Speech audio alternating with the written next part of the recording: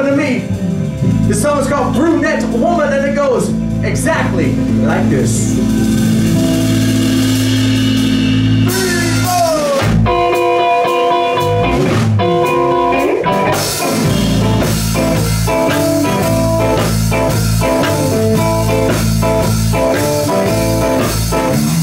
Well, I can't eat. I'm losing my health